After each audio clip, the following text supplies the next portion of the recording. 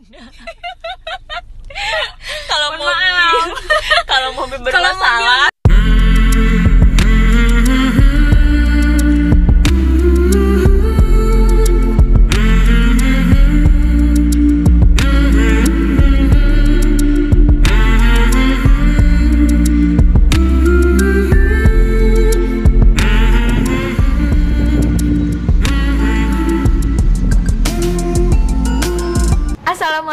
saya Lesti untuk teman-teman semuanya. Jangan lupa like, comment, and subscribe.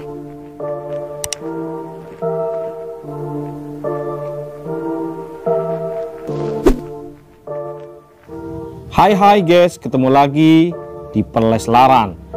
Kabar terbaru terupdate tentang Lesti dan Bilar. Tentu kalian selalu penasaran dan menunggu-nunggu kabar bagaimana idola dan kesayangan kita ini Lesti dan Bilar yang selalu mencuri perhatian kita semua.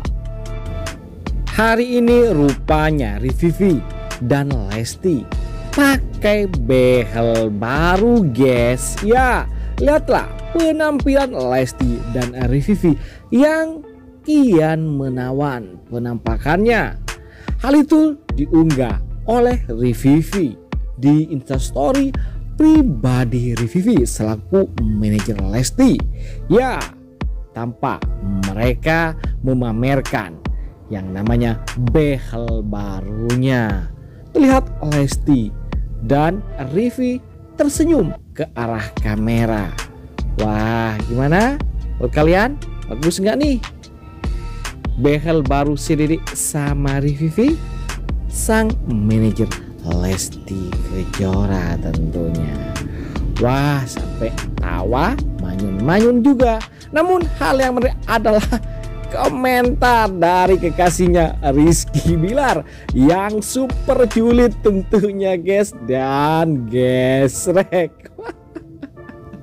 Hal itu ia sampaikan saat Moreno live Instagram dan ia pun melakukan aksinya. Dedek pakai behel no kayak bismas mes.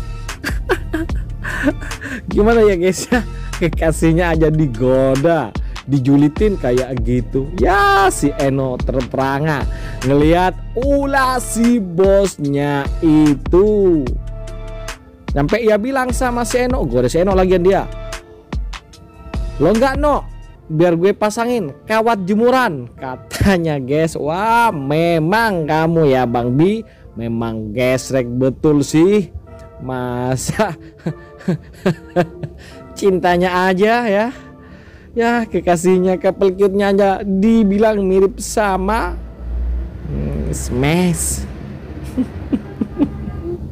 Ya lucu banget ya guys betapa gesreknya dia hingga menyebut si dede mirip dengan Bismas Mes. Tentu hal itu adalah sesuatu yang akhirnya membuat si Dedek Lesti jatuh hati tak alang kepalang pada kekasih hatinya. Ya, karena kekocakan, kegesrekan serta sesuatu yang luar biasa termasuk perhatian yang super duper yang diberikan kepada si Dede. Tentu hal inilah yang membuat si Dede sehari saja langsung jatuh hati dan begitu pun Bang Bi yang tak sampai 24 jam dia jatuh hati pada si Dede Lesti. Makanya kita semua baik kalian fan Leslar untuk selalu mensupport pasangan super gesrek, romantis, gemesin dan ya pokoknya ter-ter yang lainnya guys ya.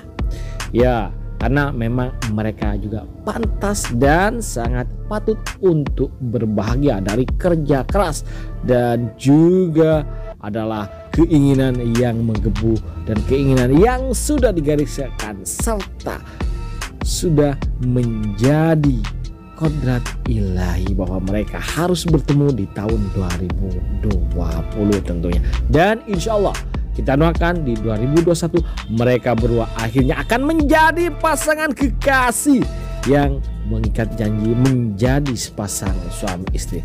Tentu itulah doa terbaik dari kita sekalian agar mereka segera memantaskan diri dan memantapkan hati dan itu sudah nampak dari pola pikir dan perilaku mereka serta statement yang dibangun di depan publik serta permintaan mereka untuk selalu mendoakan hal yang terbaik untuk keberlangsungan kehidupan percintaan kisah mereka di tahun-tahun dan selanjutnya. Itu saja mungkin kabar terbaru mengenai hubungan Lesti dan Bilar yang makin hari makin nampak begitu menggemaskan dan menggoda kita semua. Jadi bagi kalian untuk tak ragu lagi klik subscribe dan nyalakan loncengnya agar notifikasi tentang keseruan mereka berdua, kegesrekan serta kabar kemesraan cinta yang terus membara di antara keduanya. Kalian dapatkan update-nya setiap saat dan tak harus menunggu lama hanya di channel kesayangan kita ini. Ingat selalu jaga kesehatan dan selalu berpikir positif dan mendoakan yang terbaik untuk Leslar tentunya. Terima kasih telah menonton. Yuk, bye bye.